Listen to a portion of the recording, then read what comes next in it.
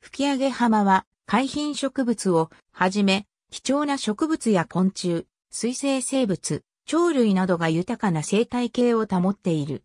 吹上浜は兵庫県南淡路市天吹上町に広がる砂浜の海岸。淡路島の中で最も南に位置する海岸の一つ。NHK 連続テレビ小説、満腹の聖地として淡路島の観光スポットともなっている。淡路島の南端に位置し、南に紀伊水道、西に鳴門海峡を望む海岸。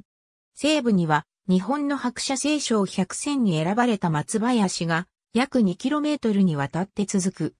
NHK 連続テレビ小説、満腹のオープニングが淡路島の海辺などで自由に動き回るタイトルバック映像と泉大津の塩作りにのロケ地に使用された。吹上浜は潮の流れが早く全面的に遊泳禁止となっている。また、釣りのメッカとしても知られ、特に白ギス釣りでは有名である。海浜植物をはじめ、貴重な植物や昆虫、水生生物、鳥類などが生息する。南淡路市に黎明の海底の波跡の化石であるレンコンが発見され、柔らかい凹凸模様が見られる。高さ約10メートル、幅約5メートルにわたり、海底であったと推測されている。白社清少の豊かな自然環境を生かしたオートキャンプ場が開設されており、特に夏場の海水浴シーズンには、島内外から多くのキャンパーで賑わう。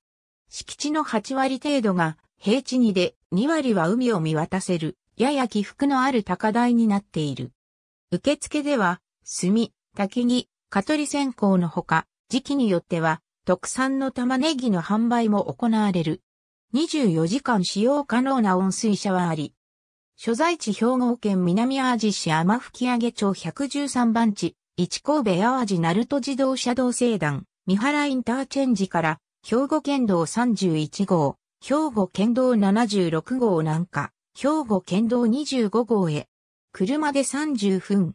ABCD、兵庫県公式サイト吹上浜。2021年1月23日閲覧。AB、淡旅淡路島満腹ロケ地オープニングと、塩作りは、吹上浜連続テレビ小説。2021年1月23日閲覧。林野町日本の白社聖賞百選。2021年1月23日閲覧。